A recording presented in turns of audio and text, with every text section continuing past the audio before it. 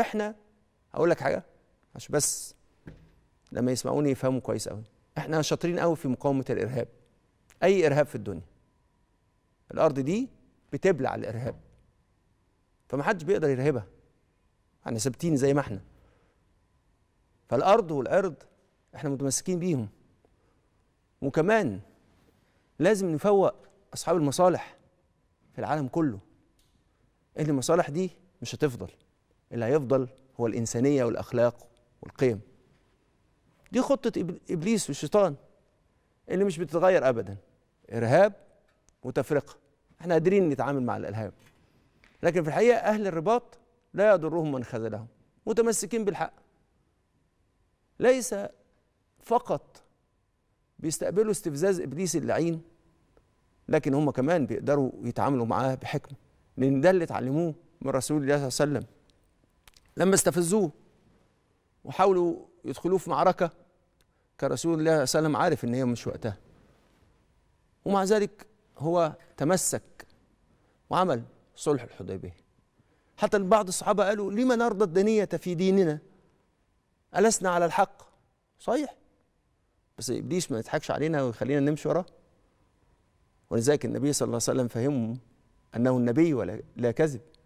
فالمسألة إن إبليس بصناعته لخطته بيسوق للناس الخطة دي دايما. ولا يستطيع انه ينتصر على أهل اليقين. يقين إيه؟ ولا ينصرن الله من ينصره.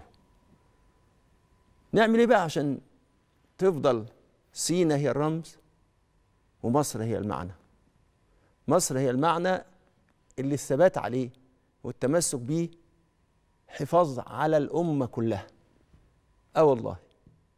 ولو ما كنتش عارف ولو ما كنتش عارف شوف شوف اللي بتعمله مصر والدور اللي بتقوم بيه مصر من حفظ الإخوة وهي اللي بتحاول بقدر الإمكان بكل ما أتاها الله سبحانه وتعالى من قوة إن تع... إن تكون هي مفتاح الفرج. فربنا سبحانه وتعالى جعل هذا القدر وإحنا متمسكين بعون الله سبحانه وتعالى. متمسكين بهذا المدد اللي أرسله الله سبحانه وتعالى فأهل مصر سموا مصر المحروسة. سموا مصر المحروسة ليه؟ عشان إحنا ماشيين على خطة رسول الله وبنعيش على إن هذه الأرض مصونة بتجلي الله. فإحنا عندنا كل ده. التجلي ده هو اللي بيخلينا حاسين بأمان. التجلي ده هو اللي بيخلينا نحس إن ربنا سبحانه وتعالى معانا. واوعوا ابدا وحد بيكلمكم يخليكم تخرجوا مولانا سبحانه وتعالى من المعادلة. طب نعمل إيه بقى عشان نكون دايما في رباط وأهلي هيكون في رباط؟ أول حاجة أقول لكم شوية إجراءات كده لطيفة عشان إحنا نستطيع إن إحنا نكون فعلا محققين للبشارة المحمدية لبشارة النبي صلى الله عليه وآله وسلم. رسول الله قال إن أهلها في رباط فلازم البيوت تبقى في رباط. أفضل وقت لازم البيوت فيها تكون في رباط هو الوقت ده. وفي ثلاث معاني ممكن يحصل ده.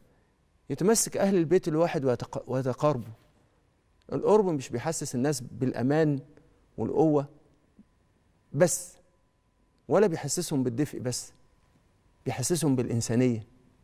قربوا من بعض في الوقت ده. زيلوا الشقاق وزيلوا الخلاف اللي بينكم وزيلوا الجفوة اللي بينكم وابدأوا صيانة صيانة لبشرة حضرة النبي صلى الله عليه وسلم إن أنتوا في رباط. أنا أقول حق بقول لكم حاجة أي حد في الوقت ده هيقرب من أهل بيته وهيحاول بقدر الإمكان إن هو يجمعهم هيتلموا هيتلموا لأنهم محتاجين إن هم يقربوا لبعض.